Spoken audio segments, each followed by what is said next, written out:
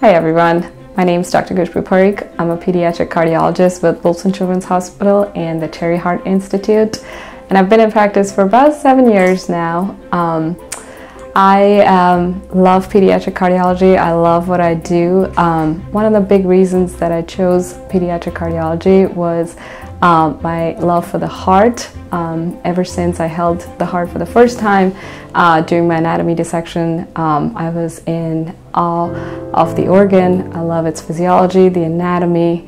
I also knew I always wanted to work with children, and so that kind of led to my decision to pursue pediatric cardiology as my career. Congenital heart disease is an abnormality in the heart that develops before the baby is born. So typically when the heart is developing in the fetus, there is some sort of malformation that occurs that leads to an abnormality, whether it be a valve abnormality or a hole in the heart or a conduction problem. All of those that occur before the baby is born is called a congenital heart disease.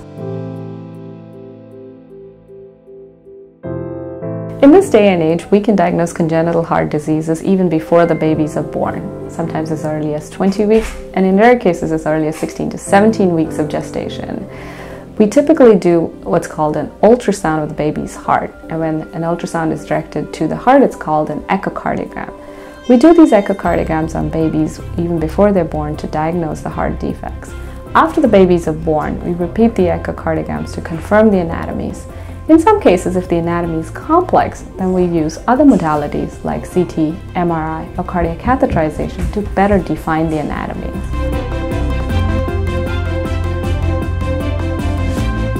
So if we know well in advance about a congenital heart disease that we are dealing with, we are able to plan in terms of place of delivery, timing of delivery, and the interventions that can be needed after the baby is born. This helps families prepare and be ready for once the baby is born as to what would come next for their baby's care. In some cases, the babies need heart surgery as early as third or fourth day of life. We can talk to the parents about the length of hospitalization that they'll need. And in some cases, congenital heart diseases are also linked with other chromosomal and other organ dysfunctions. These also can be identified early, and the babies and the families can get plugged into the correct and, and appropriate resources to give their child the best care.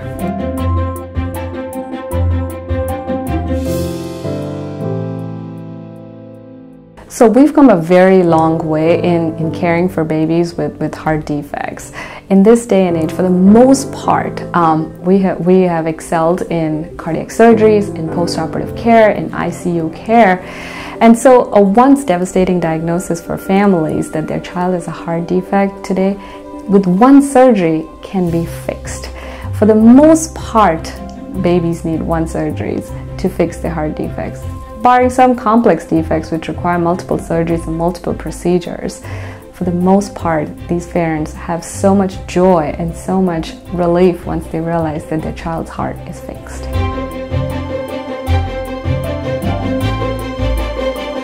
So typically when moms go in for their OB appointments or their high risk appointments, if there's a suspicion that there's something wrong with the heart, the OB team will refer those patients to pediatric cardiologists.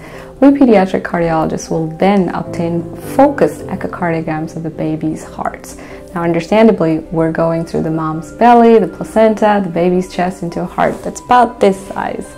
But technology has come a very long way, and we are able to identify most, if not all, of the heart defects that a baby can have.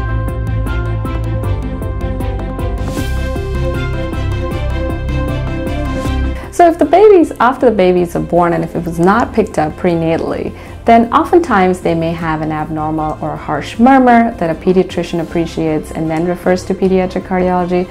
Sometimes these babies are noted to be blue in the newborn nursery, or if they have um, rapid breathings or they have difficulty gaining weight, all of these can sometimes point toward a potential cardiac defect, which pediatricians are great about picking up and referring to pediatric cardiology and then we obtain echocardiograms and diagnose them.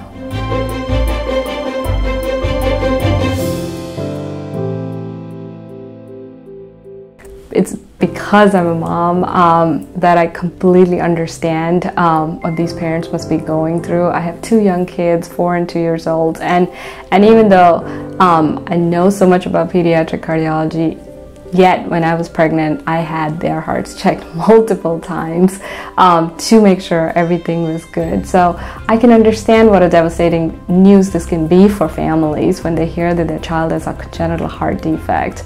Um, but I want to give hope and I want them to know that we have come a very, very long way in our technology, in our care, in our outcomes for caring for children with congenital heart diseases you know, including diagnosing them early, getting them the proper resources, getting them the proper care, and um, with good heart surgeries, we can absolutely, in most cases, cure them or fix their hearts. So I understand where these families are coming from, but there's hope.